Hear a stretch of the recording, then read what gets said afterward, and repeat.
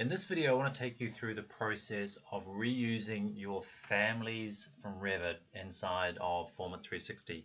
So I have my tower design that I put together previously in an earlier video and what I'm trying to do at the top here is create a penthouse type apartment. So I just uh, created some basic shelling and uh, a couple groups here to create the basis of that top floor. And what I have here over on the right under the uh, family symbol here is some content that I've converted via Revit into FormIt AXM files. So what I can do is I can grab any one of these items, select it, and place it inside of my FormIt design and it comes through as grouped geometry. Now to get access to this library you can add them either locally or you can pull it down from the cloud. So you simply just click uh, the plus button here and you can add a local or a cloud library. The cloud library is the one connected to your A360 Drive account. I've just got a few that I'm adding here. What we do inside of Revit to do the conversion is we go to our application here and if I just go to a new file here so this is Revit 2018 uh, the last couple of versions of Revit have come with the uh, FormIt add-in automatically. If you don't have it in an earlier version, you can uh, download it from the FormIt website. So all I need to do here is, uh, let's say I've got some uh, items inside of my Revit model that I've extracted out. So simply to get the data out, you just go save as, and you can save the families um, from Revit. You can save those into a certain location and extract that all the families in the data. And then you just go to convert RFA to uh, FormIt, and that's the um, uh, AXM file. So simply I just path it to uh, a folder in my network or on my local drive. So I just drop all those Revit families that I've saved out of Revit into that folder. Uh, and then I uh, path it to a new folder so in this instance, I want it to be my FormIt content. I can also uh, include that in my A360 Drive content folder, so it's available on the cloud, and just go OK. And that will go through uh, all the Revit families and convert them into FormIt content. So back here inside of FormIt, uh, this is what I've done. So I've gone in and uh, I've pathed that new folder, and now I have access to all of this uh, information inside of FormIt. So I don't need to uh, remake any of it. And if I go and uh, look at this item, it's not a Revit family inside a FormIt. It is a, uh, a massing object, but you can grab that information and uh, select it and extrude it and adjust it as, as need be. So you can reuse that uh, Revit family if, if you choose to. Uh, so with that, what I'm going to do is just grab some of this information and populate it inside of my apartment here. So with that, uh, what I've done here is I've grabbed some of those families that I converted from Revit and I've arranged them in my apartment and on the layers uh, I have the uh, environment, the roof and the walls here uh, lifted up so it's got quite a high ceiling height here. Uh, as you can see these uh, curtains that I've bought in from Revit aren't quite right, so I can always reuse that geometry.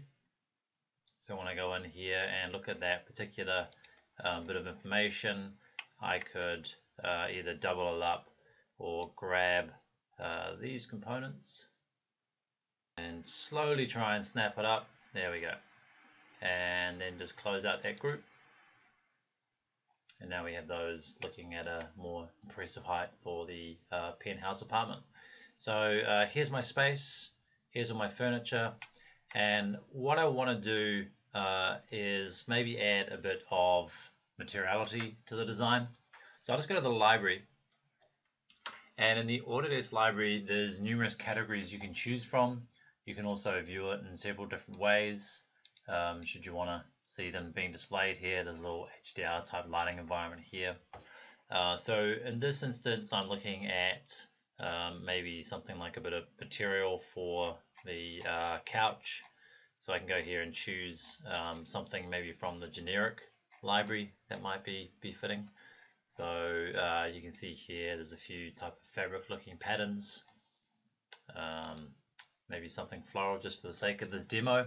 So let's say I want to bring in this material. I'll go import and it's available in my library here. Once it's in the library, I can also edit that material. And one thing you'll notice here, it looks quite dark. So just go to the color and turn off the base color and this will display a bit better here. You can also adjust the scale. So if you want it to be a little bit uh, tighter, you can uh, just tidy up how it texture maps. You can also turn on reflections for direct and oblique and gloss. So as you start to drag these up, it will just give you um, a bit more reflection. So if I drag that all the way up, you'll start to see it's reflecting all the light inside of that spinning scene. Uh, a lot of the times it's quite a good idea just to have a little bit of reflection on everything. It bounces light around, maybe a tiny little bit of gloss. You can also make it transparent. Uh, so with that, it's going to go okay. You can also add bumps as well um, via normal maps and cutouts if you want to have alpha channels. We'll just go okay.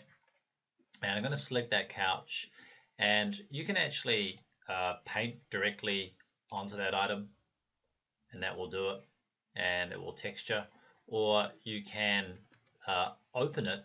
So let's just say I go and get another material and uh, if I go and select that couch right click and um, edit I can then go and paint individually onto the faces there so you're starting to see here that texture's subtly uh, sort of showing up or I could just double click and it will grab all the geometry for me and we got something a bit more uh, respectable in terms of that uh, couch uh, texture, a bit more suitable for a minimalist modern uh, apartment.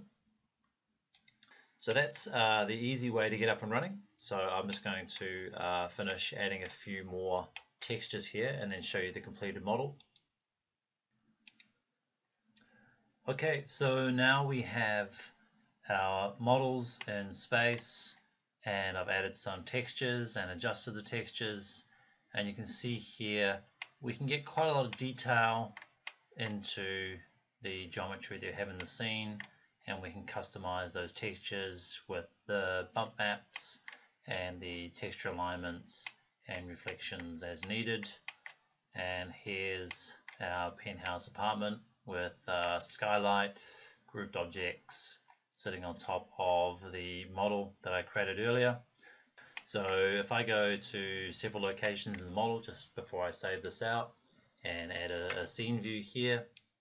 So I'll just call this exterior 01 and you can start to animate these and control what you want to display here uh, I'm just going to save these out as my sort of save views around the model. And again, I'm just going to go um, inside the model. I'll call this my um, 02. Okay, and uh, there you have it. And as I click to those different scenes, it will spin around the model for me so I can bookmark um, what I want to be showing people inside of design. So with that, uh, I now want to get this into a VR environment. So there's a couple ways we can do this. Today I want to just focus on 3ds Max Interactive. Um, I'm going to export it out locally and I want to use an FBX uh, file format here and uh, just export it out with the default settings here at the moment. You could uh, go probably the latest version of the FBX and generate back faces if you choose to. Uh, if you need to know more about this, um, some do or don't render back faces. You could uh, do it as an OBJ or a DAE, however I find FBX uh, works the best. So export it and put it to a location and that will now extract out their data and the next video will be on how to create a VR scene inside of 3ds Max Interactive.